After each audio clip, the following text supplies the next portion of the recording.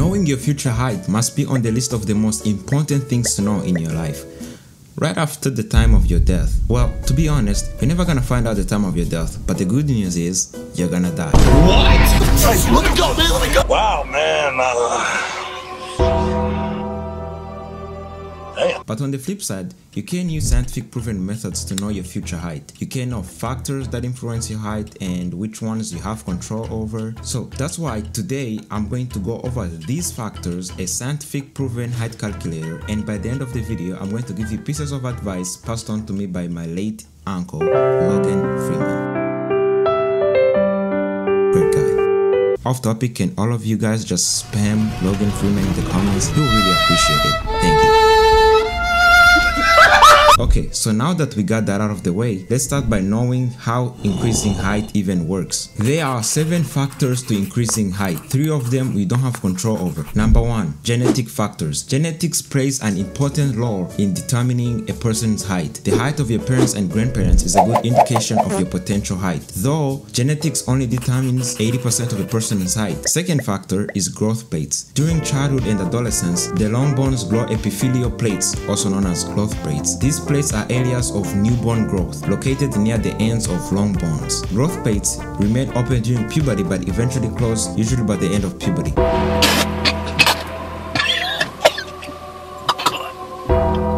Good. Good. now I'm really mad. As a person grows, the cartilage in the growth plates ossifies, which means turns into bone, which adds length to the bone. Hormones like growth hormone, thyroid hormones, and sex hormones, no, not like that. These sex hormones, they also help in regulating activities done by the growth plates. Once these little plates close, you can no longer become taller.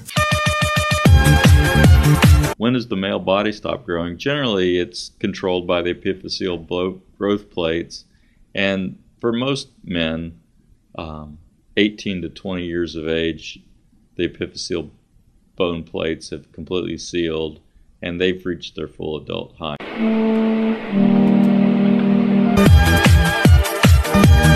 Number three, hormones. Hormones like growth hormone, thyroid hormone, and sex hormones help in cell growth, bone growth development, and growth spurts. If you want a video on hormones, feel free to comment. The last four factors that can be controlled and they work in your favor are nutrition. Eating a balanced diet and avoiding processed food will give you useful nutrients you need for growth. Nutrients like proteins, calcium, vitamin D, and vitamins and minerals. Second is physical activities. Getting off your lazy butt and doing physical activities like swimming, cycling, running, and sports can improve your overall health and stimulate growth. Exercises improve posture and stimulate growth hormone production. That's what we want, don't we? Number three, sleep. During sleep is when growth hormone is released. Aim for 8 to 9 hours of sleep for teens. Number four, environmental factors. Chronic illness and prolonged stress can negatively impact growth. Now that you have an idea of what factors play a role in increasing height, I have a scientific accurate calculator to determine your future height. Now, obviously this is just your parents' height, but there is other more factors. The link is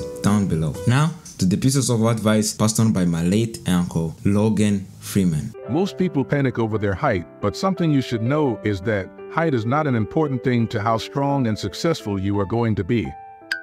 Don't let something you have little control over worry you so much.